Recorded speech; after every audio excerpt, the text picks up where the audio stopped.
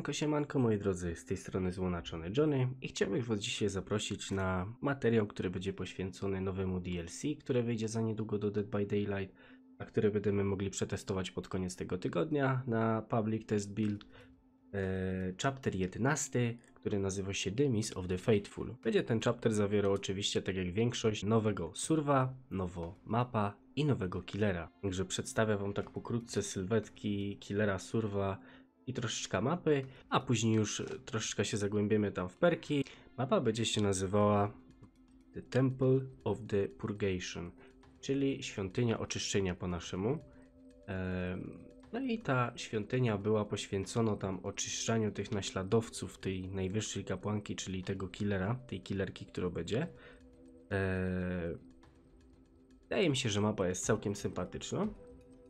Co do samej mapy, dojdziemy do niej za chwilę, bo tam też będzie na filmiku pokazano. Także przejdźmy sobie teraz do sylwetki, może surwa.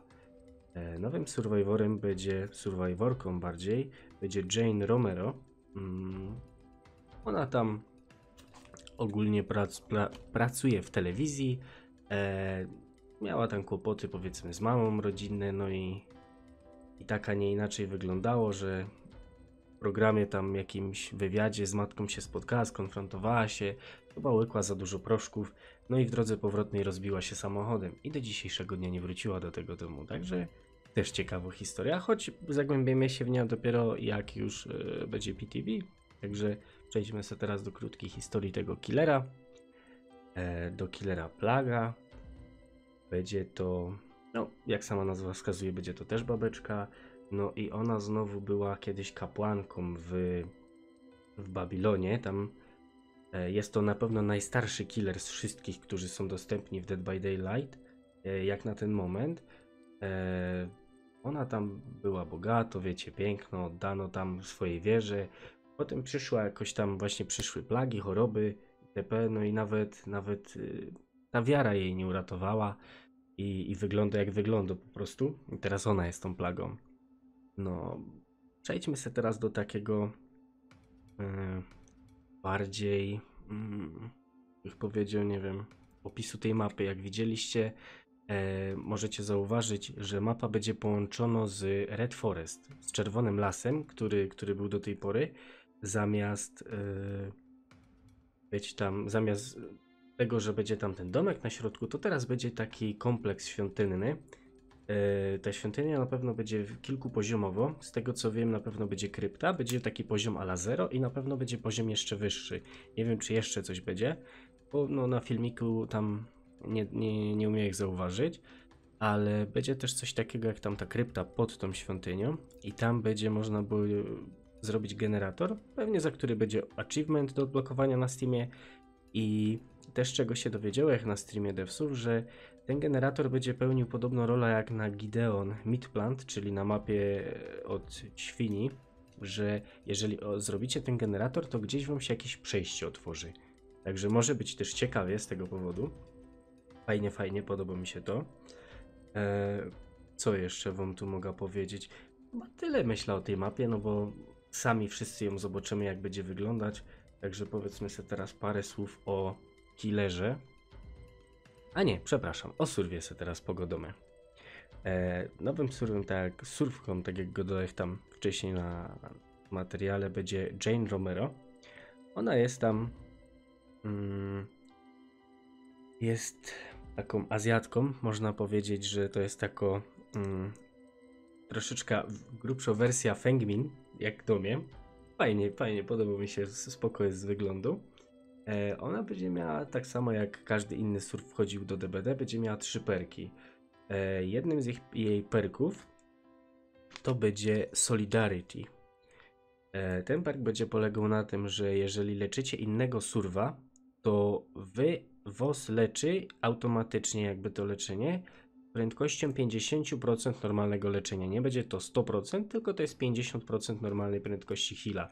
Czyli będziecie po, dostawać połowa tego, co wy wyleczycie surwa, czyli można powiedzieć, że jeżeli wy wyleczycie całego surwa, będziecie mieli pół życia już wyleczonego, ja? Także to też bardzo, bardzo mi się podoba takie coś, bo po tych nerfach z tymi healami, z tym wszystkim, no to idzie się pochlastać troszkę. Ale to nic nie godą. Eee, druga sprawa, drugi perk to będzie Poizet. E, tu chodzi o to, że jeżeli zrobicie generator, to przez 10 sekund od aktywacji, od momentu aktywacji tego generatora, nie będziecie zostawiać żadnych śladów, czyli tych scratch marks. Nie będzie tych czerwonych zarysowań do killera przez 10 sekund od aktywacji generatora. Też to jest bardzo ciekawe. I już myślę, jak to wykorzystać w swoim buildzie, co mogę tu zmienić, co mogę dodać i, i jak to się będzie miało, ale to wszystko będzie na PTB, także patrzcie, patrzcie i wypatrujcie. E, trzecim perkiem będzie Head On. To jest bardzo ciekawy perk, który mi szczególnie przypadł do gustu i bardzo mnie ciekawi, jak będzie działał w praktyce. E, tu dzieje się coś takiego, jeżeli wejdziecie do szafy, po 3 sekundach przebywania w szafie, perk zostaje uaktywniony i jeżeli killer podejdzie do szafy, możecie wyskakując zestunować go na czas 3 sekund. To jest po prostu cudo, może być ciekawy, bo devsi chcieli po prostu zwiększyć jakby interakcja z szafami w grze. Myślę, że im się to uda przez taki zabieg. Zobaczymy jak to wyjdzie w praktyce. Także tak wygląda ta Jane Romero. Teraz sobie przejdźmy do killera na koniec. Eee, killerem będzie The Plug, czyli ta przysłowiowa plaga. Eee, ona będzie też miała trzy perki, tak jak to standardowo. Ogólnie jej mocą będzie Vile Purge. Niby ta moc później możecie zwiększyć, ona może ewoluować albo zwiększyć po prostu jej moc. Eee, przez to, ale to za chwilę do tego i dojdziemy. I ta zwiększona moc niby ma się nazywać Corrupted Purge. Także jeszcze tego nie wiem, bo tego nie pokazali, tego drugiego.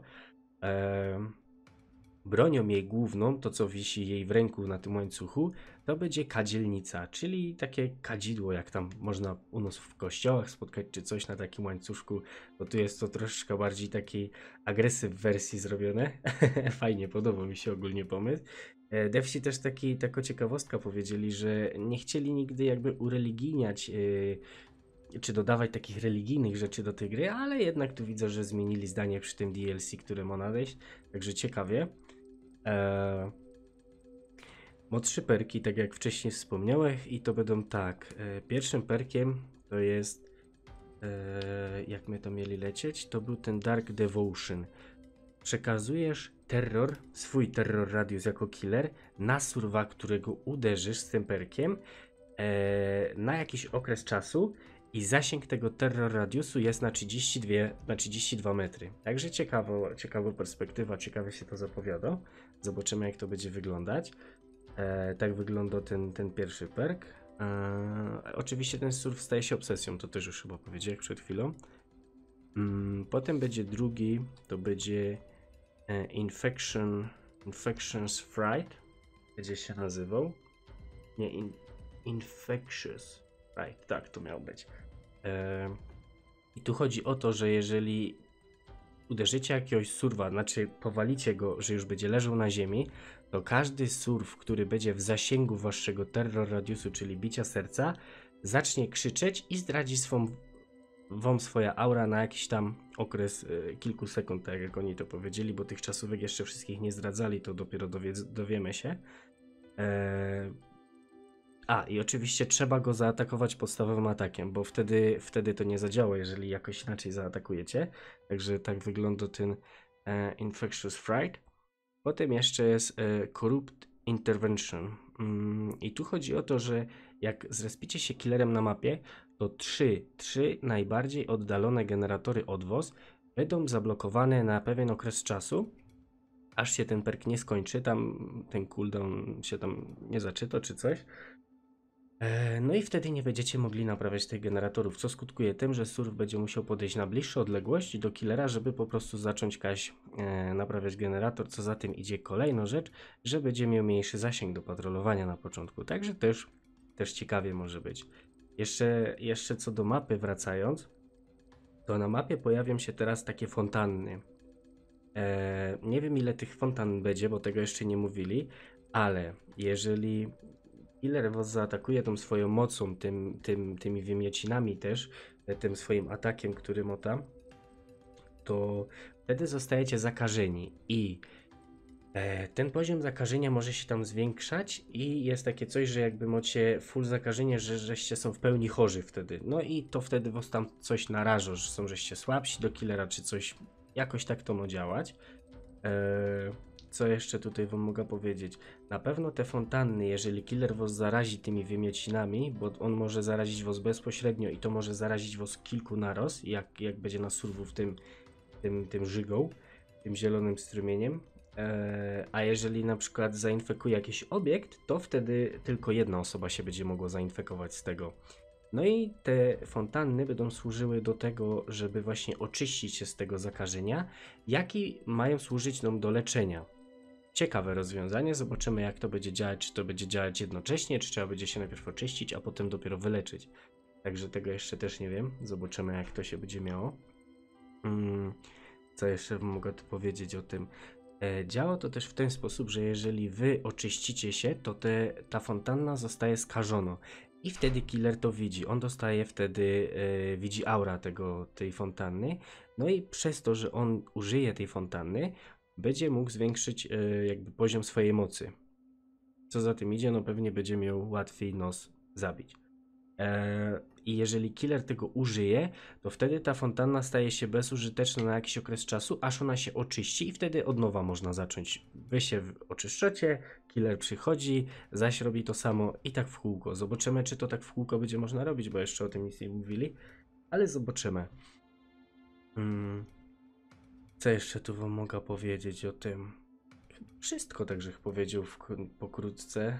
Em, tego, co tutaj mam ponotowane, czy z tego, co tutaj po prostu staram się tłumaczyć tak na żywo pi razy drzwi z tego, co tu mam na innym ekranie.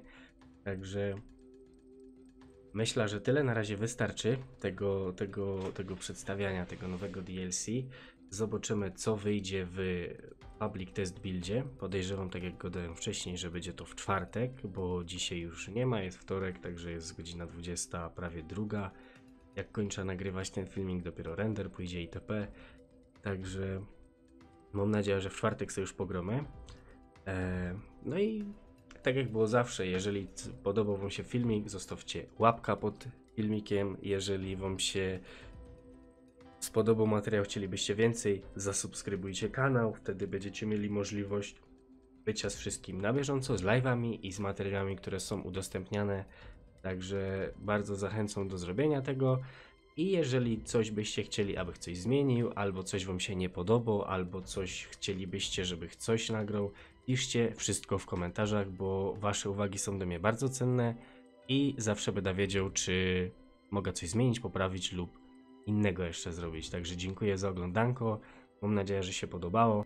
No i do zobaczenia. DBD. Trzymajcie się. Do zobaczonka. Hej!